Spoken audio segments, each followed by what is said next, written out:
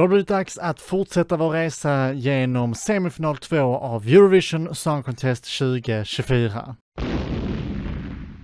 Hej och hjärtligt välkomna tillbaka till en helt ny video på den här finfina kanalen. Kul att få se er igen. Ja, i förra videon så reagerade ju vi på de fem första länderna som tävlar i den andra semifinalen och nu har det blivit dags att reagera på nästa fem. Och jag är väldigt exalterad så att jag tycker vi bara kör igång på direkten. Och först ut i denna videon har vi då Albanien som har skickat några med ett namn jag kommer ha svårt att uttala men det är alltså då Bessa Kokadihima med låten Semren Endor.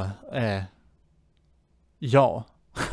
Albanien brukar ändå skicka saker som blir rätt så populära. För mig är det dock inte riktigt min cup of tea. Så vi får se om detta kanske är året då de lyckas övertala mig helt och hållet när vi nu ska titta på Albanien. Än så länge känns det väldigt mycket som nöjt Albanien brukar skicka.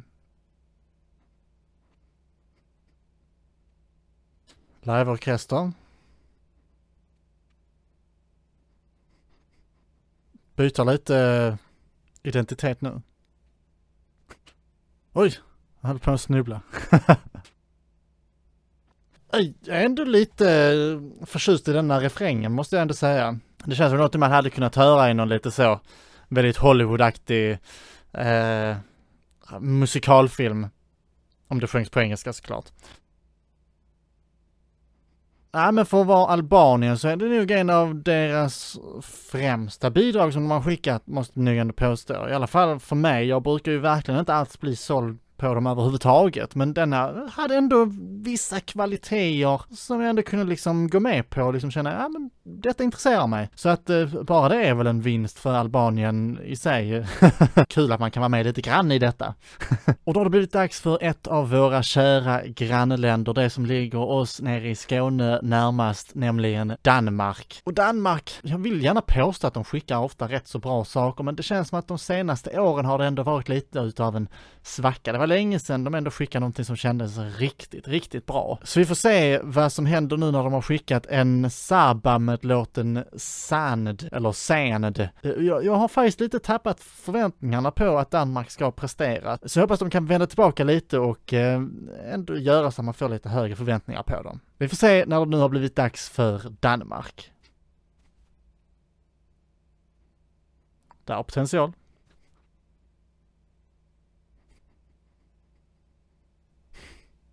Ja. Problemet för mig här är att jag tycker musiken låter jättebra, men jag tycker inte låten tillåter henne att träda fram och imponera riktigt.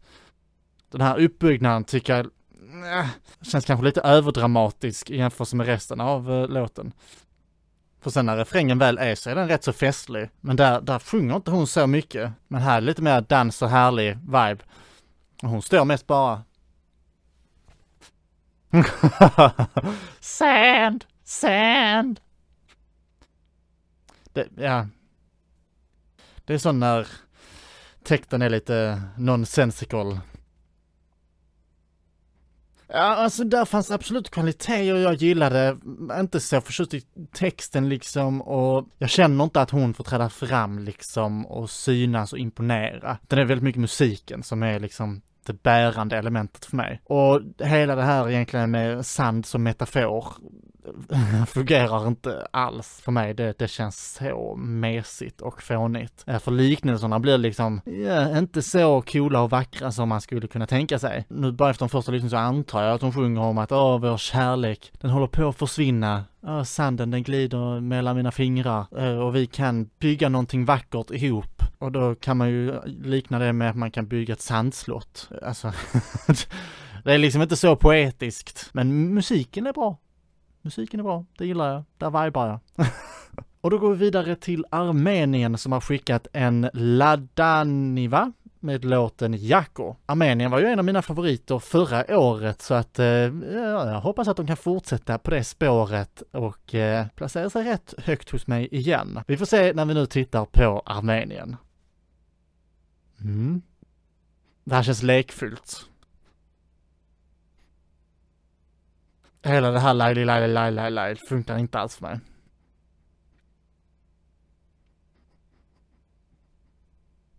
Det här tycker jag än så länge känns rätt så odrägligt. Fruktansvärt störigt.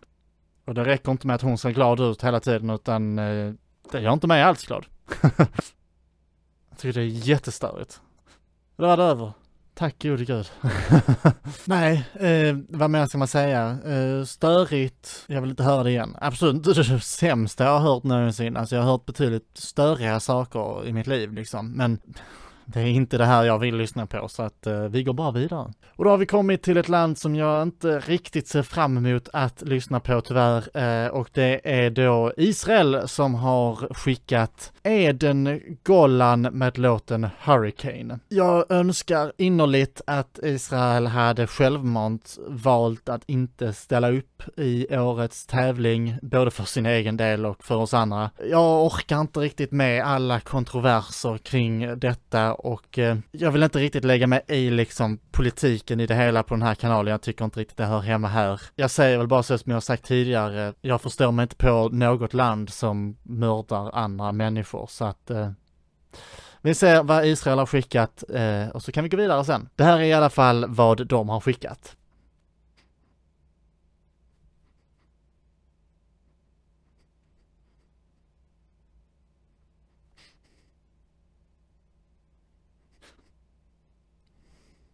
Alltså detta är en bra ballad och det kan bli hur bra som helst på eh, scenen. Det är bara en fråga om liksom, det är ju liksom en emotionell låt.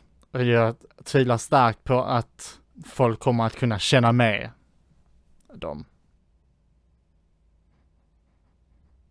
Nej, alltså det, det, det, var ju som sagt inte dåligt. Det är bara ingenting som man riktigt kan heja på, för det är svårt att känna med i det förrän eh, det är så mycket utomstående som liksom väger in i detta som smutsar ner det liksom.